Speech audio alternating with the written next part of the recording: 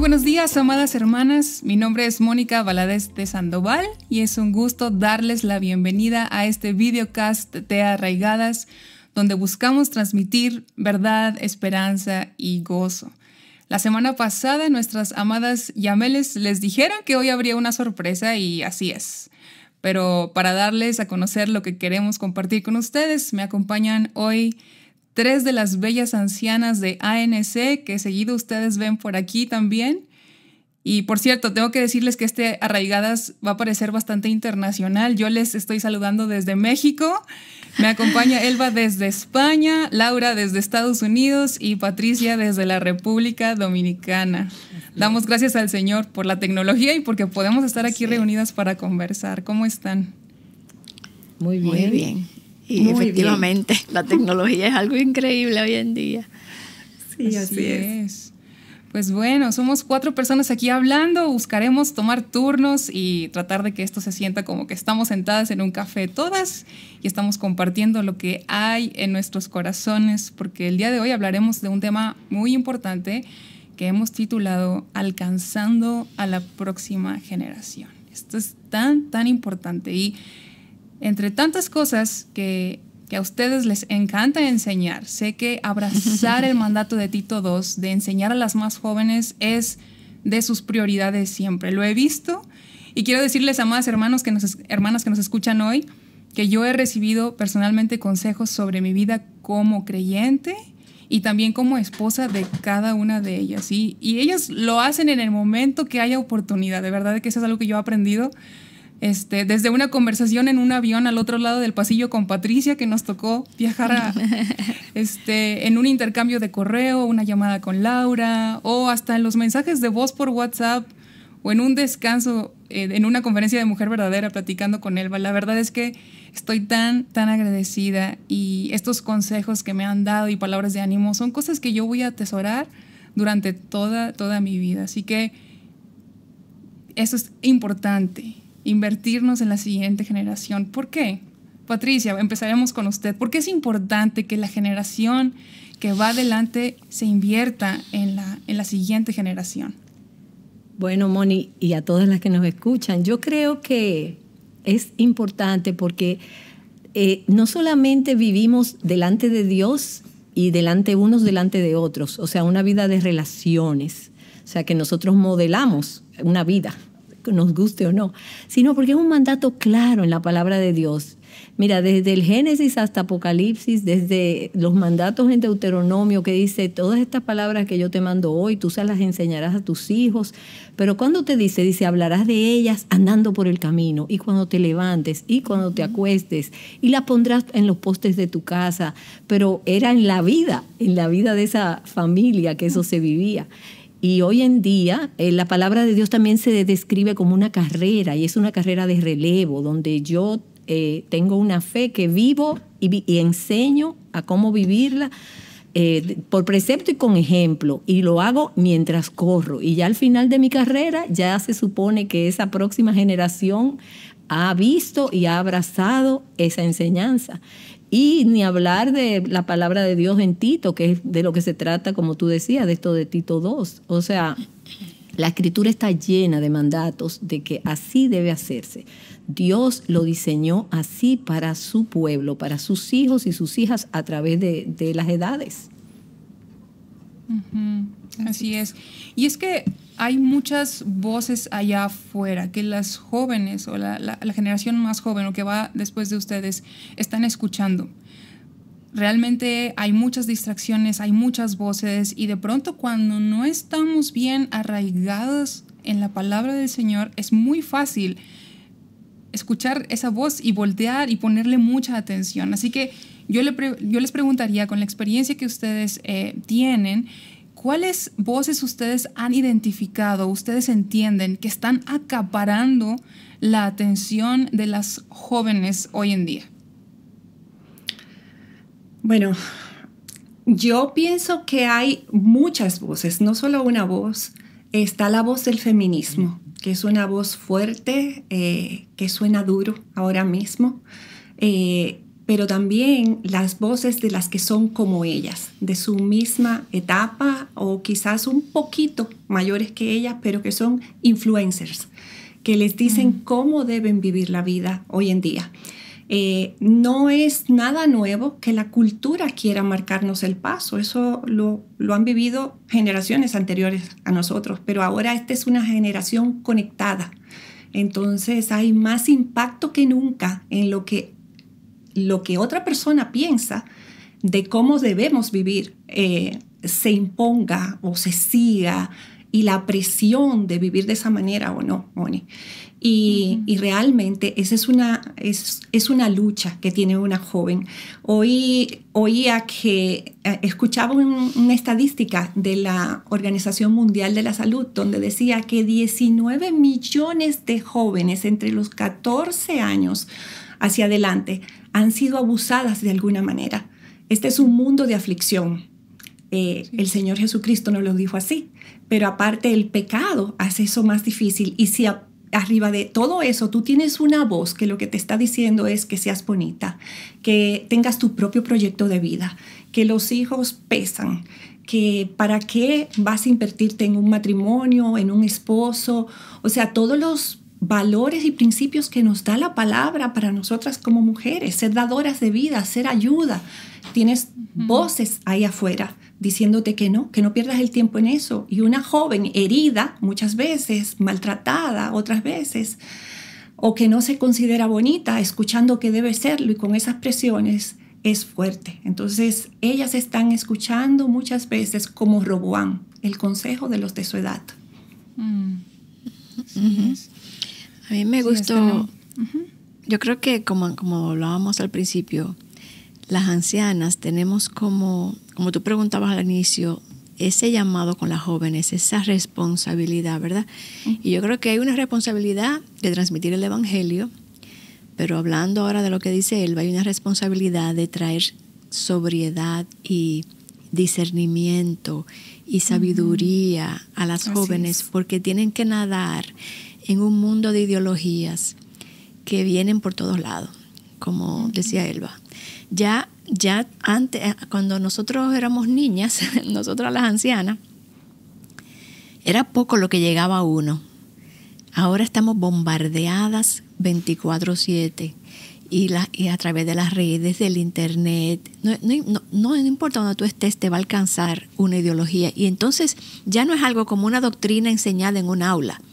Es como una ideología que está en el ambiente, que, que tú naces y ya piensas que eso es así. Entonces, qué importante esa voz de esa anciana en la vida de una joven de cualquier edad, en cualquier etapa de su vida, ya sea jovencita o ya más grandecita cuando se va a casar o cuando va a tener hijos o ya con hijos. La voz de la anciana Claro, una anciana que esté arraigada en la palabra, que no esté también influenciada por las ideologías, ¿verdad? Que pueda ayudarla a discernir esas cosas, porque ella, ella puede estar ciega a todas las mentiras que se está tragando. Entonces sí, es sumamente importante eso y yo creo que más que nunca en estos tiempos que estamos viviendo. ¿Sabes algo que oyéndote hablar, Laura, me venía a la, a la mente el proverbio que dice, compra la verdad y no la vendas. Cuando esa, esa anciana debe eh, traer la verdad, porque si hay algo que lo que yo creo que eh, las voces de la cultura, del feminismo y de todos esos ismos, lo que traen muchas veces es mucha mentira, con algunos pincelazos de verdad. Pero nosotras, eh, como ancianas, tenemos la responsabilidad de decirles, no, mira, esta es la verdad. Y mi deseo es que tú compres la verdad y no la vendas. Que eso sea lo que tú te lleves de lo que yo pueda dejarte en tu vida. Una vez que ya yo no esté, y mientras esté viva, ¿verdad? Yo te la transmito, pero una vez que ya yo no esté, tú compres eso y no, lo, y no puedas separarte de ella porque sabes que tienes la verdad. Porque la única manera de filtrar todas las voces de la cultura y todo lo que no es cierto es cuando conocemos esa verdad. La verdadera verdad. Y, como decía él, está el feminismo, pero debajo de todas esas narrativas y esas ideologías está esa exaltación del yo, de, de, tú, de tú exáltate, tú te lo mereces, tú, tú, tú, tú, tú, tú, tú eres una víctima o tú eres una reina. Siempre al final es tú y el yo. Entonces yo creo que eso es lo primero que una anciana tiene que ayudar a esa joven a como, como, yo me imagino una madeja de, de, hilos, como desenrollar eso, no, mija, eso es del mundo, ese es un pensamiento secular, ese es un pensamiento del enemigo, eh, porque es muy fácil dejarse influenciar. Entonces, esa anciana, esa anciana es muy importante en la vida de las jóvenes. Así es. Y bueno, eh, durante esta semana estaba estudiando por ahí algunos temas y algo que, que escuché de un pastor decir, la sabiduría humana siempre te va a llegar a llevar a lugares incorrectos. Sabemos que las jóvenes, todos realmente en general, pero las, ahorita que estamos hablando de las jóvenes, están buscando y escuchando esas voces porque hay una necesidad en lo más profundo del corazón, pero solamente la sabiduría de Dios es la que puede darnos instrucción y guía para las necesidades del alma, que al final de cuentas eso es. Entonces, tenemos que recordar que la sabiduría humana no nos va a llevar a nada bueno, nos va a llevar al feminismo, nos va a llevar a todas esas ideologías que ustedes han estado mencionando. Por eso es tan importante que las ancianas puedan traer sabiduría de parte de Dios, sabiduría bíblica, que llegue realmente a la raíz de lo que las jóvenes están enfrentando. Entonces, sabemos que en el proceso de poder invertir en la siguiente generación, a veces hay ciertos desafíos, a veces no es tan sencillo como, como quisiéramos o como pensamos, pero yo quisiera preguntarles en su experiencia, ¿qué desafíos enfrentan las ancianas al intentar conectar y guiar a la próxima generación? Eh, y bueno, las hermanas que nos están escuchando hoy pueden tener diferentes edades, desde, no sé, 30, 40, 50, 60 años. Todas somos una anciana para una generación posterior. Entonces, este mensaje es para todas. Eh, y creo que todas debemos abrazar ese mandato de títulos y vamos a toparnos con algunos desafíos. Entonces me gustaría preguntarles qué desafíos pueden enfrentar y cómo poder superar esos desafíos al intentar hacer esta conexión y guiar y traer sabiduría a la próxima generación.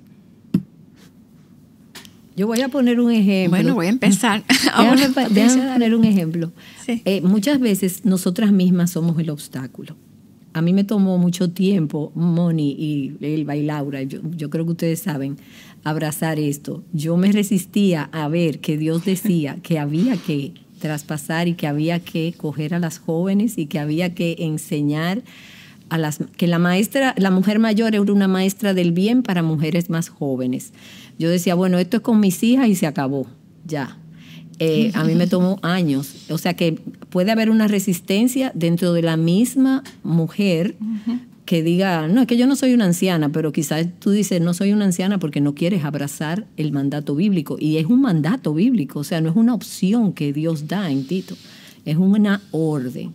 Eso, esa, por un lado, vamos a ver que las otras digan, pero la resistencia Ahora, ¿qué, ¿de dónde viene mi resistencia? Puede ser por egoísmo, puede ser por comodidad, por una vida que yo quiero. Ay, ya yo, muchas veces yo decía, ay, que ya yo trabajé mucho criando a mis hijas y ahora.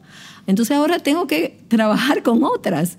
O sea, eh, el egoísmo, el orgullo, eh, a veces un sentido de insuficiencia, eh, pero hay otras más. Vamos, Laura, Elba. ¿Qué ustedes opinan? Bueno, yo creo que ese sentido de incapacidad muchas veces, eh, pero Dios no nos pide que seamos maestras eh, teológicas, sí nos pide que seamos maestras del bien. Eh, y, y realmente nuestra cualificación está en Él, no en nosotras mismas, en amarlo, en obedecerlo y tener su palabra por algo que es primordial para nosotros y eso, eso, eso es algo que ellas primero deben verlo en nosotras, porque el, el, que ellas vean que Dios es primordial en nuestras vidas les llama la atención. Yo lo sé porque eh, jóvenes se acercan y, y te dicen, yo creo que no amo al Señor. Yo quisiera poder tener una vida devocional eh, más profunda. Yo quisiera poder prepararme para cuando tenga un hogar y criar mis hijos porque te veo haciéndolo. Entonces, no necesariamente es solamente enseñanza eh, bíblica. Yo tuve un grupo en mi casa donde les enseñaba a coser ruedos, a, a pegar botones. con la palabra de Dios, pero las preparaba como se hacía antes, como nuestras madres hacían con nosotros para prepararnos para un hogar. Eh, y, fue un, fueron dos grupos preciosos. Entonces, una mujer puede invertirse de esa manera cuando no, quizás no se siente preparada para dar un estudio bíblico, pero tenemos materiales como Adornadas, por ejemplo, que es precioso para estudiarla con, con muchachas más jóvenes. No sé si tú quieres agregar algo más, Laura. Sí, yo creo, como ustedes dicen, está, yo creo que hay dos obstáculos. Nosotros, ¿verdad? Eh, que nos sentimos incapaces, nos intimidamos con las jóvenes, pero también está la joven que no estima el consejo de los ancianos, porque como hoy en día están acostumbrados a andar con jóvenes y todo es diferente, hay nuevas ideologías, ah, no, esas cosas cosas de viejos, ¿verdad? Desestiman el consejo de los ancianos. Y por eso, y yo creo que la escuela tuvo mucho que ver el sistema escolar que separa a los niños de los, de los adultos y los hace a ellos todos como que ah, ministrarse el uno al otro, enseñarse el uno al otro en lugar de ir consejo de los ancianos yo he visto un cambio, sobre todo en los niños que son, y los jovencitas, que son eh, eh, hijas de escuela en el hogar, que están más dispuestas. Por ejemplo, mi nieta mayor Zoe, ella busca, quiere estar con nosotros los adultos. Yo a veces me digo, pero qué raro que una niña de esa edad prefiere estar con los adultos que con los jovencitos. Ella quiere escuchar, ella quiere saber, ella le gusta conversar conmigo. Y he notado eso en muchos jóvenes de la iglesia. Anoche precisamente estábamos en un grupo de estudio que tenemos los adultos eh, estudiando la Biblia y dos de los padres trajeron a sus hijas de veintitantos años bien bajitos que están de vacaciones y querían venir al grupo de los viejos. Entonces, yo creo que hay un, un papel importante de los padres enseñándole a sus hijos que no siempre sus compañeritos son los de su propiedad y eso es un reto cuando están en el colegio, ¿verdad? Pero ahí está ese, ese obstáculo, que los jóvenes no quieren estar con los adultos y yo es una oración para mí que eso cambie sobre todo en la iglesia, que se le muestre desde, los, desde pequeño a las muchachas jóvenes el valor de los años y de la experiencia y de un amor que ha caminado con años en, en la palabra, que puede ser de ayuda para ellas y que valoren esa sabiduría. Entonces hay que orar por eso. Entonces hay obstáculos, obviamente. Pero como decía Patricia, es un llamado. Ese es el llamado, ese es el, el rol de la mujer en la iglesia. Muchas veces queremos tener otro tipo de llamado en la iglesia, enseñar desde un púlpito y, quizás ser maestra, tener un podcast y todo eso está muy bien. Nosotros tenemos esa cosa. Pero al final se trata de esta mujer abrazando su rol de enseñar a la próxima generación todos estos valores del reino. Entonces, si nosotros soltamos eso, ¿quién es que le va a enseñar a las jóvenes? Entonces, sí, tenemos que superar esos obstáculos cuando reconocemos que eso es nuestro egoísmo, obviamente arrepentirnos de eso y empezar a hacer lo que nos toca. Y orar que Dios abra los corazones de las jóvenes para poder aceptar y buscar la sabiduría de las ancianas. Y eso sucede, eh, Laura, que es bueno recalcarlo, como decía Elba, que no es, no es teología, no es solo un estudio bíblico, es en el, el currículo, se lleva en el hogar, o sea, es muchas cosas, es mucho material de un hogar. Pero oyéndote hablar y escuchando un programa que hoy de la brecha generacional, lo que sí está sucediendo entre jóvenes y también conectándolo con lo que Mónica dijo al principio que este programa aplica para todas, porque aunque nosotras somos ancianas, para muchos grupos que ya tenemos debajo, una mujer de 20 y pico de años puede ser una anciana para una jovencita de 14 y una que tiene 30 y pico 40 puede ser anciana para la que recién se casó y la otra, el otro grupo hacia abajo. Porque es cierto que hoy en día hay una brecha de lenguaje, de forma de pensar. Nosotras nos reíamos al inicio del programa con nuestras deficiencias tecnológicas. Entonces, todas esas cosas sí existen, pero no deben impedir que la relación se dé, porque es una relación y un contenido.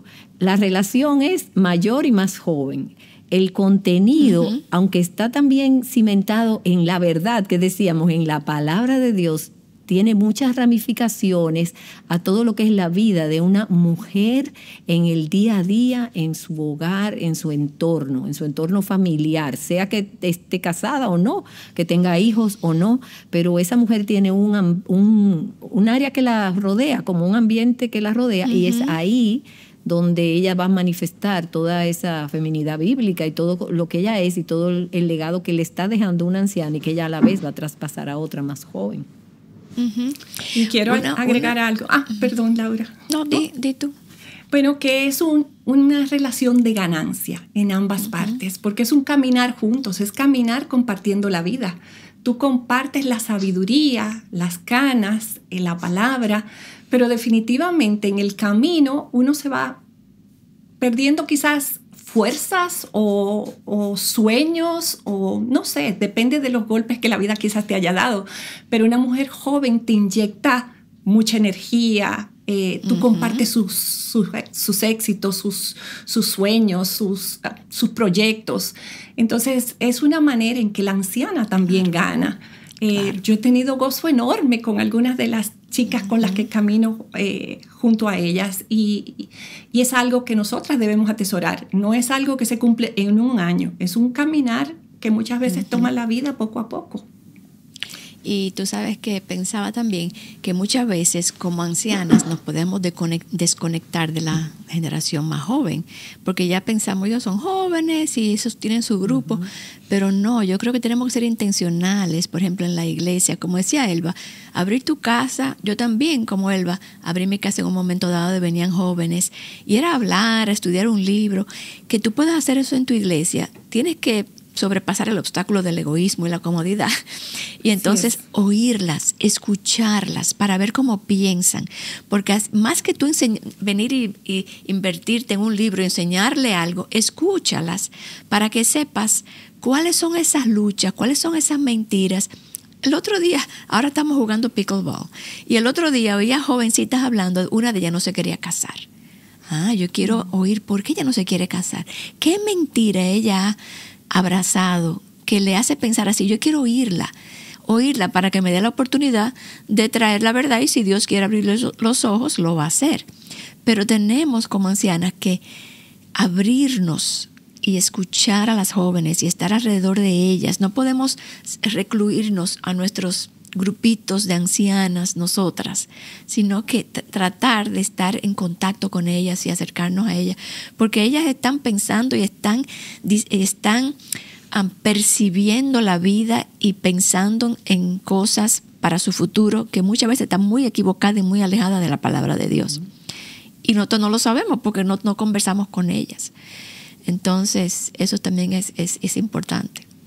Así es. Y hemos estado escuchando, Laura nos decía ahorita, tenemos que em, acercarnos a esta generación, escucharlas, porque a veces no es como escuchamos algo y ya voy a, venir con el bibliazo a decirle, no, lo que estás pensando está mal. Hay, hay maneras de hacer esto, hay maneras de acercarnos. Entonces yo quisiera preguntarles, eh, yo creo que Patricia aquí nos puedes eh, contestar esta pregunta. ¿Cómo pueden de maneras prácticas las ancianas, según Tito II, influir y guiar a la siguiente generación de jóvenes? Sí, eso es muy buena esa pregunta, Moni, porque quizás alguna anciana está, escuchando y dice, uy, con eso que ustedes me están diciendo, que eso es de por vida, ahora es que yo le tengo miedo al compromiso.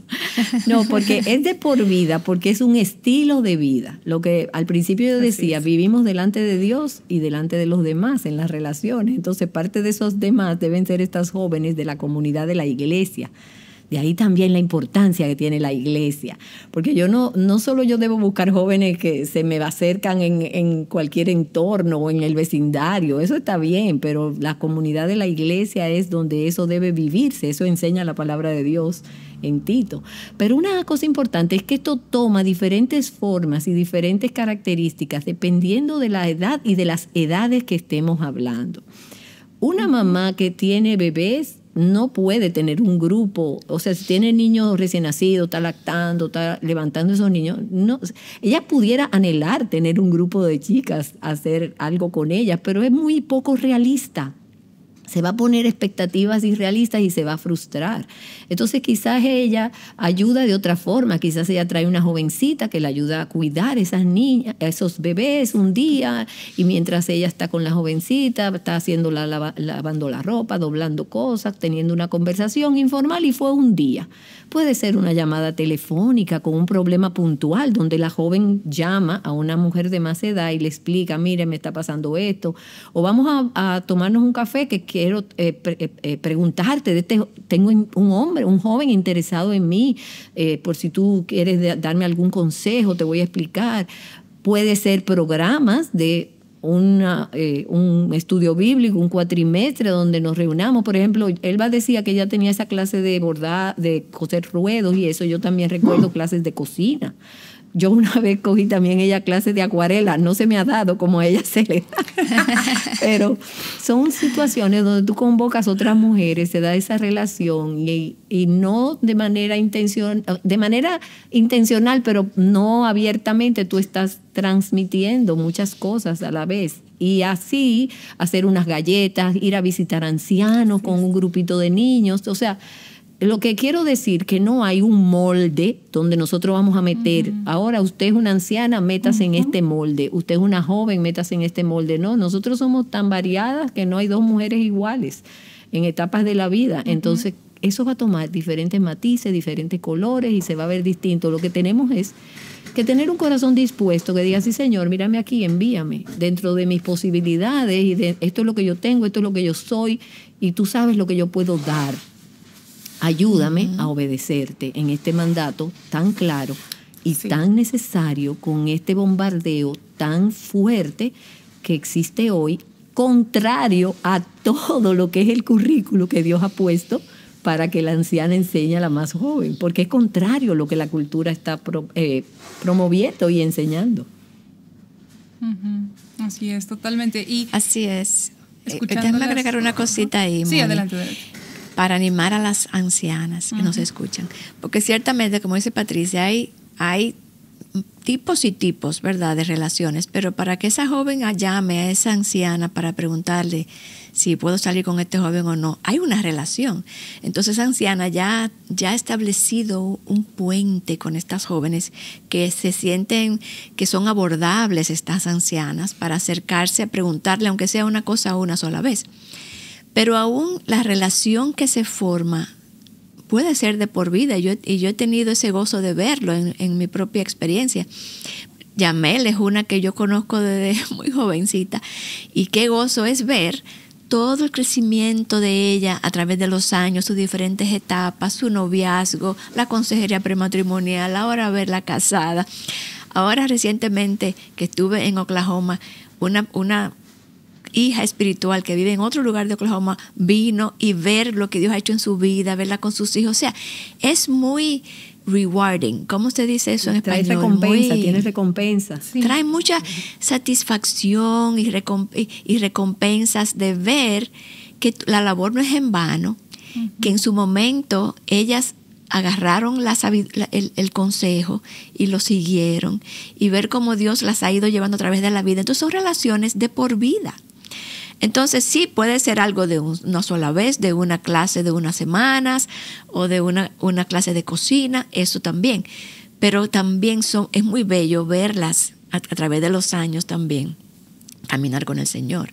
Entonces de todas las maneras es, como dice Patricia, abrazar el rol y ver la responsabilidad que yo tengo en esas vidas, que yo no vivo, yo no fui salvada para vivir para mí sino que yo tengo un llamado en, la, en el cuerpo de Cristo que es sobre todo enseñando a, las más jóvenes. Dar vida, vida espiritual. Así es, y creo que cuando hay un poco de, de lucha o de temor, traer este anhelo del corazón y si no ha llegado a ser un anhelo tan fuerte, traer este mandato de Dios en oración delante del Señor y decirle, Señor, quiero obedecerte. Ayúdame a ver las oportunidades para acercarme a una joven, para poder influir en ella. Yo recuerdo más o menos como entre mis 25 y 30 años, que yo a los 25 más o menos conocí el ministerio, de ayuda a nuestros corazones y yo escuché lo de Tito II y dije, yo quiero tener una anciana. Fue hasta ya yo estar muy grande. Eh, y empecé a orar y de pronto una hermana de la iglesia me invitó a ayudarle en su casa. Tenía un pequeño cuartito donde tenía una librería muy pequeña y me dijo, aquí vendo unos libros eh, de un currículum para escuela en casa y necesito ayuda para acomodarlos, ¿me ayudas? Y fui, y ese fue el inicio de una trayectoria como de cinco años hasta que el, Señor la llamó a su presencia por, por una enfermedad que ella caminó conmigo y yo caminé con ella. Eh, le ayudaba en algunos proyectos y fue una relación tan, tan hermosa que eso es lo que debemos hacer. Las ancianas, venir al Señor en oración para que nos, nos ayude, nos dé nos abra nuestros ojos para ver esas oportunidades de acercarnos, de invitar, de preguntar, de simplemente a veces preguntar, ¿cómo puedo orar por ti? De ahí puede surgir una conversación larga y de necesidades. Y quiero hacer aquí un paréntesis para las jóvenes cristianas que nos están escuchando hoy y decirles, chicas, ellas son las verdaderas influencers. Realmente nosotros podemos ir allá afuera, buscar en nuestras redes sociales, googlear la información, buscar respuestas a nuestras preguntas, porque hemos dicho en otras ocasiones, y yo les digo a las jóvenes de mi grupo pequeño en la iglesia, cuando tú estás en el celular, el algoritmo pues no te va a pedir permiso para ponerte ciertas cosas y que tú digas sí o no.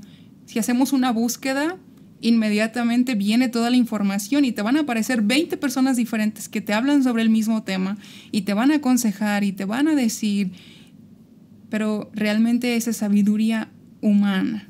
Tenemos que ir con las verdaderas influencias, con estas ancianas, estas mujeres piadosas en nuestra iglesia local, que nos van a traer sabiduría de parte del Señor, sabiduría de la Biblia, que es la palabra del Señor, que es la única que puede realmente ayudarnos. Así que jóvenes que, que están viendo, que están escuchando, si tú deseas tener a una anciana en tu vida, a una madre espiritual, ponlo en oración también. Ora al Señor. Yo oré por varios, por un buen tiempo y el Señor la trajo y fue una relación tan, tan hermosa. Pero puedes ponerlo en oración y también abre tus ojos y ve ahí en tu iglesia local cuáles son esas hermanas. No necesariamente las que siempre están dando un estudio aquí y allá. ¿Quiénes son esas hermanas que son piadosas? Que, que ustedes vean que está cumpliendo su rol como esposa, como madre, que te puedan traer sabiduría para tu vida diaria como hija de Dios. Así que abre tus ojos, ponlo en oración y no, no eches en saco roto esto, esta oportunidad que el Señor nos da como un medio de gracia en medio de la iglesia local para tener sabiduría de hermanas experimentadas y que tienen conocimiento de la palabra. Amén. Una cosita, esa, esa anciana que ella va a ver en la iglesia, como cualquiera de nosotras, ha caminado con el Señor, ha vivido muchas pruebas, ha conocido la gracia, la misericordia, la prueba dolorosa, ha conocido la mano bondadosa del Señor, tiene todo un caminar con Dios y con su palabra que puede llevarle a esa mujer joven. Y de ahí es que está el tesoro de ese caminar juntos. La palabra la tenemos, pero Dios quiere que haya una relación. La vida cristiana, me encanta siempre decir, la comenzamos sola. Nadie puede empezar la vida cristiana por mí, pero Dios quiere que sea los unos con los otros.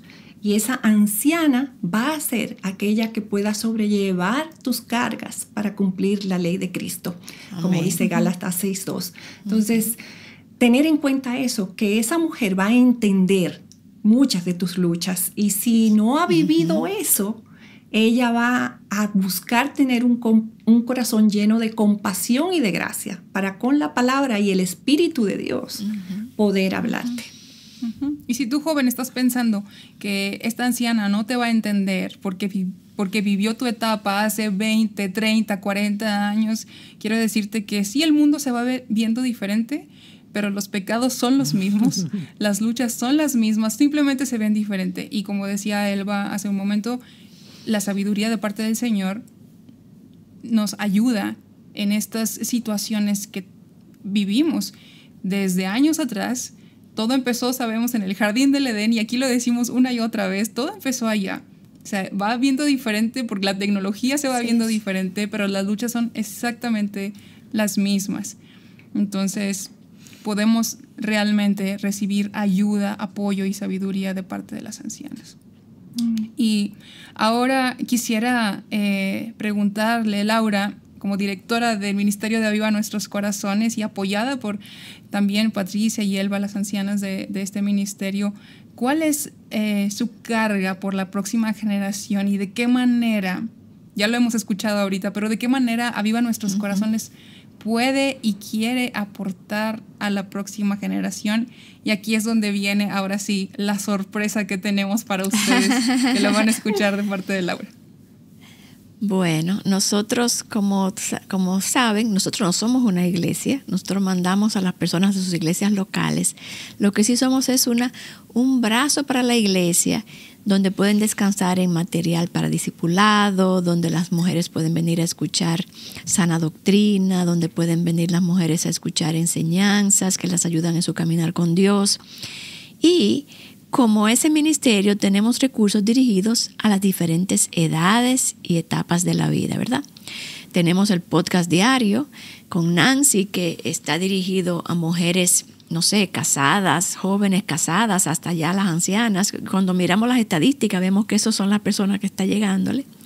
Tenemos que amen a sus hijos, que somos las ancianas que enseñamos ahí a las jóvenes, a las mamás jóvenes, para que para animarlas en ese llamado que es tan poco reconocido hoy en día, que puedan sentirse que son vistas, que, que, que, son, que oramos por ellas, que las queremos animar en ese llamado tan contracultural hoy en día.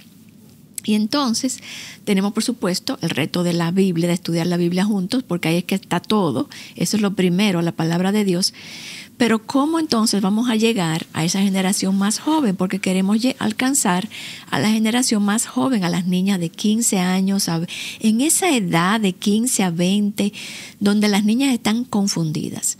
Están preguntándose para cuál es mi identidad, cuál es mi propósito. Y estoy hablando de niñas en la iglesia, no necesariamente niñas incrédulas nuestro deseo es llegar a, muchachas de la iglesia, a hijas de mujeres en la iglesia, de familias en la iglesia. Claro que si Dios lo quiere usar para evangelizar también, como todos nuestros recursos, pero es básicamente cómo podemos llegarle a esa edad entre 15 y 20 años tan difícil a veces de alcanzar, porque están, como hablábamos, eh, oyendo los consejos del mundo, están oyendo más el consejo de las ideologías que es, que de las que son bombardeadas que de la palabra de Dios. No hay ancianas enseñándoles. En fin, están en el mundo. Entonces, nuestro anhelo es poder ahora con el podcast de Joven Verdadera, un nuevo lanzamiento de ese podcast, traer a las jóvenes de esa edad material como con conversaciones entre mujeres más ancianas y jovencitas acerca de luchas que tienen, de preguntas que tienen, de situaciones que tienen, cómo pensar bíblicamente a través de esas cosas, para que ellas puedan ir aprendiendo, pero también que las ancianas que escuchan puedan ir pensando cómo pueden hacer ese tipo de cosas en sus iglesias? ¿Cómo pueden hacer estos grupos con las jóvenes y hablar de estos temas? ¿Cómo pueden las ancianas aprender? Es como, por, como servirles de ejemplo a las ancianas de las iglesias, pero también a las jovencitas a traerlas con el contenido. Y, o sea, ese es el corazón, queremos llegarle a las jóvenes y necesitamos sus oraciones para que Dios nos dé el, discernimiento, la sabiduría, la gracia para alcanzarlas. No sé si alguna quiere agregar algo de su propio corazón, Elba, Patricia, en cuanto a esto. Yo creo que, como tú dices, es poner el ejemplo para que eh, quien no tiene una idea de cómo poder eh, entablar una conversación o tocar un tema o abordar la lucha que una joven tiene, eh, pueda ver una conversación, cómo se, se puede realizar una conversación con una joven, eh, edificándola, compartiendo luchas. Eh, en el pasado el pecado es el mismo. ¿eh? muchas de nosotras hemos batallado con lo mismo que batallan ellas, simplemente que ahora hay más oportunidades de pecar, privadamente, vamos a decir. Eh, o, ahora hay muchas cosas que se ven bien que antes eh, no eran tolerables, pero el pecado está en nuestros corazones y, bueno, este es un modelo de cómo podemos luego, luego hacer esto en nuestras iglesias, con jóvenes que ya tenemos al lado o acercándonos a ellas o ellas lo ven. O sea, solamente Dios sabe dónde puede llevar esta iniciativa. Incluso pueden quizás, esto puede ser una manera como se pueden reunir con las jóvenes para escuchar el podcast y entonces hablar las ancianas con las jóvenes acerca de ese tema y, involucrarlas en la conversación. O sea, como Dios quiera usarlo. Pero sí, la idea es, como te digamos al principio, alcanzar esa generación que no estamos alcanzando ahora, más joven.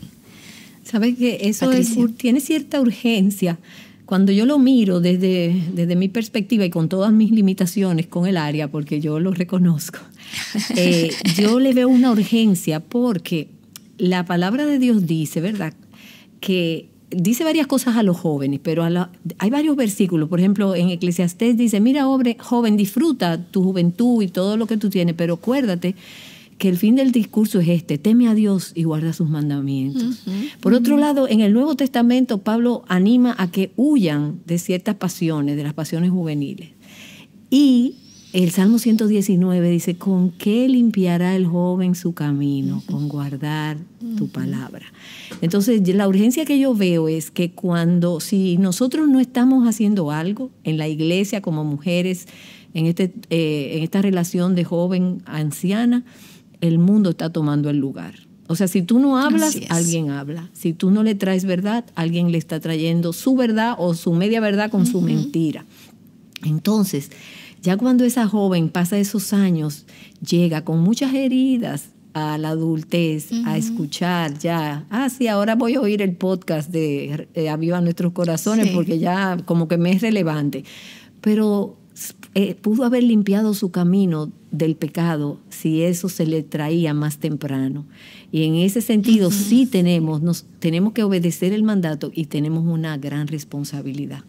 Porque si tú no se lo traes, o sea, si tú no le traes la, como mujer creyente la verdad, otras voces van a traer la otra información. Así es. Y como yo les decía, he visto jóvenes ávidas de tener sabiduría de las ancianas, aprovechar eso.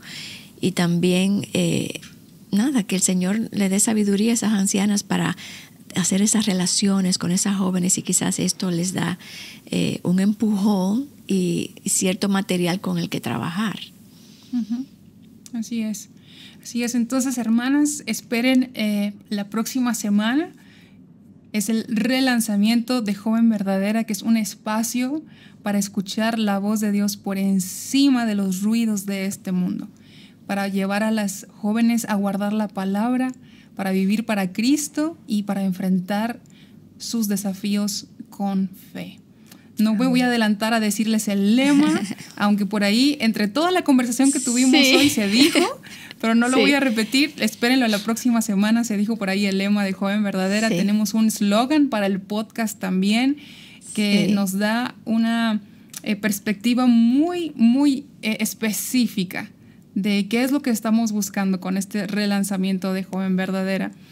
Eh, y como decía Laura hace un momento, queremos alcanzar a las jóvenes en edades más o menos entre 15 y 23 años. Así que hermanas, si ustedes conocen jóvenes en su círculo de influencia, pueden sentarse a escuchar el podcast, pueden recomendarles el podcast, eh, en los blogs que vamos a tener también contenido nuevo y estamos orando para que este sea un instrumento del Señor, un medio de gracia para poder seguir eh, invirtiendo en la siguiente generación y que las jóvenes apaguen esos ruidos que están escuchando y puedan solamente escuchar la voz del buen pastor. Así que Amén. eso es lo que van a estar escuchando eh, en la siguiente, a partir de ahora, en el relanzamiento de Joven Verdadera.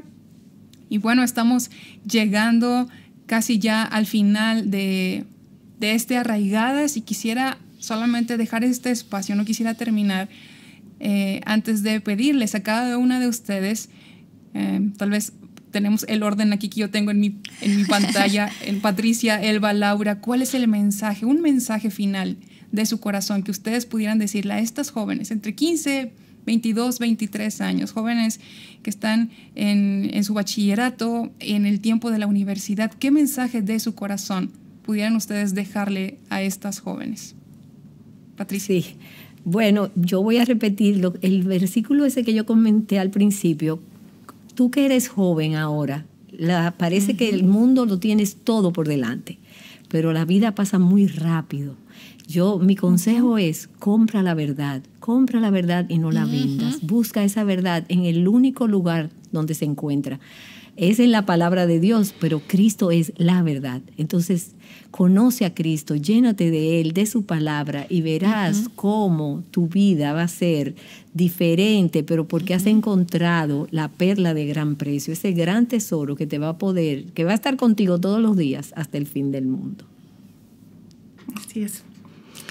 Amada joven, eh, esta iniciativa no es de Aviva Nuestros Corazones esto no es un, invento de nosotros como ministerio, esto es el plan divino del Señor.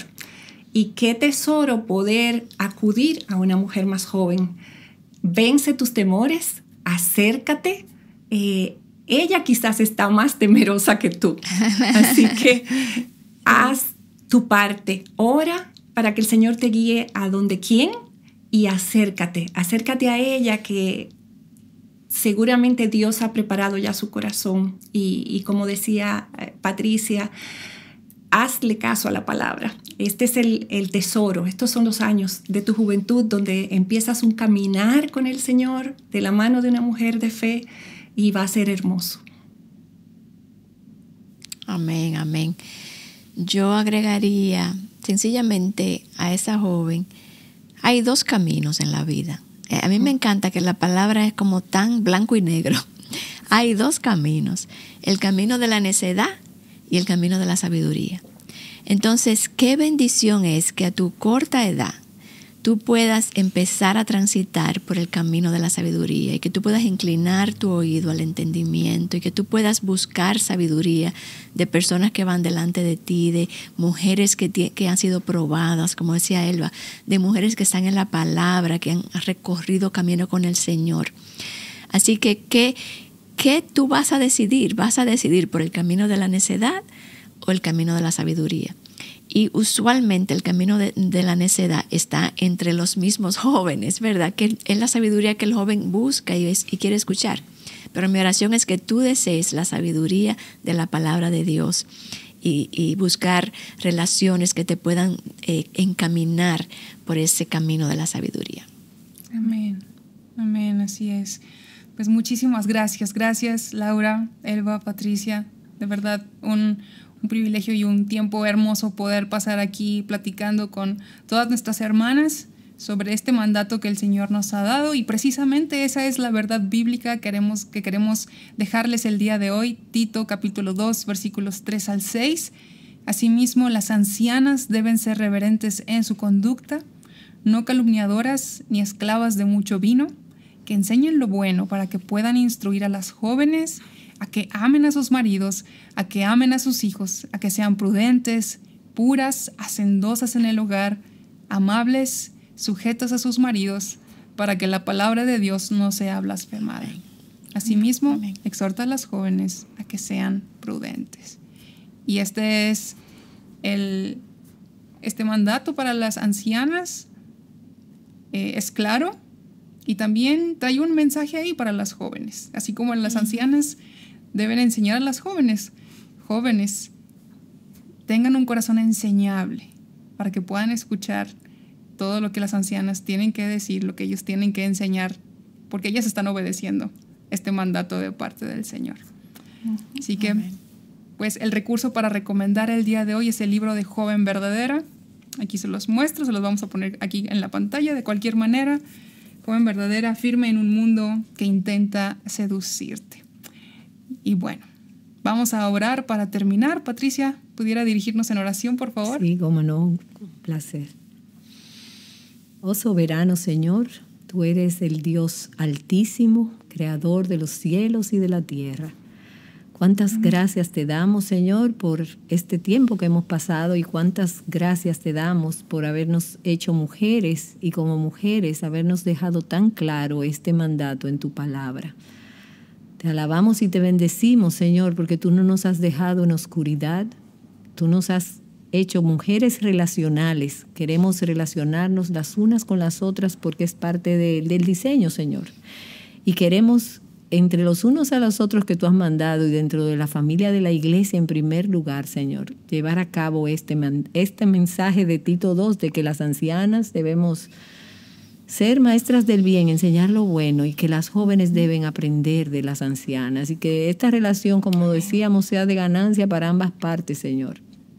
No quiero dejar de pedirte perdón por las veces que hemos resistido, Señor, tu llamado, que hemos resistido el llevar a cabo lo que es un mandato tan claro en tu palabra. Ayúdanos a hacer sendas derechas para nuestros pies. Mira que yo te ruego que a nosotras y a las que nos escuchan, tú nos examines, Señor, tú pruebes nuestros corazones, tú nos reveles, Señor, si hay en ellos caminos de perversidad porque no queremos andar por los caminos que tú has trazado y delimitado tan claramente para nosotros.